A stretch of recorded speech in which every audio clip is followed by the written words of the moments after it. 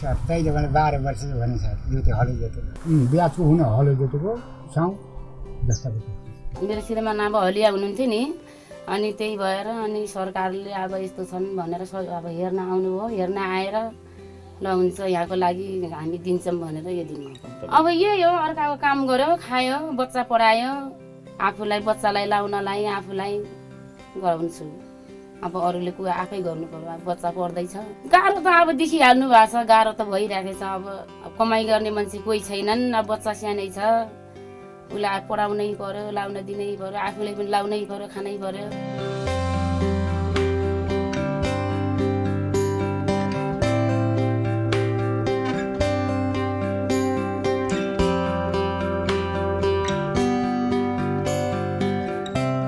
परिपूर्त गर्नको लागि उहाँहरूको आयोजनको कुराहरू शिक्षाको कुराहरू स्वास्थ्यको कुराहरू र दिगो रोजगारीको कुराहरूमा चाहिँ अझै हामीले हामी अब स्थानीय सरकार प्रदेश सरकार लगायत सङ्घीय सरकार र हामी जस्तो सङ्घ संस्थाहरू हामीले चाहिँ त्यसमा अझै सहकार्य गर्नुपर्छ भन्ने चाहिँ लागेको छ।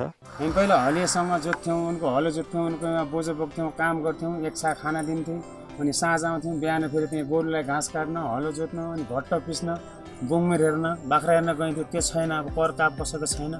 आफ्नो हिसाबले काम गरिन्छ आफ्नो माना खाइया छ आफ्नो काम गरिया छ त्यो दिइरहेको छ। वार्षिक राम्रोसँग गरेपछि डेढदेखि दुईसम्मको हारिहारीमा कमाइन्छ। बालबच्चालाई पढाउनलाई खानालाई त्यतिसम्म इन्कम भइरहेको छ। यो लुथुङ फिल्टर्सले पनि सहयोग गरिरहेछौँ हामीले। सहकारी नहुँदा सर ऋणको लागि ठुल्ठुला खेतपालासँग गएर ऋण माग्नु पर्थ्यो। त्यो अहिले आफ्नै सहकारी छ त्यहाँबाट ऋण लिनु सजिलो भएको छ। अनि बचत पनि ब्याज पनि सस्तो छ।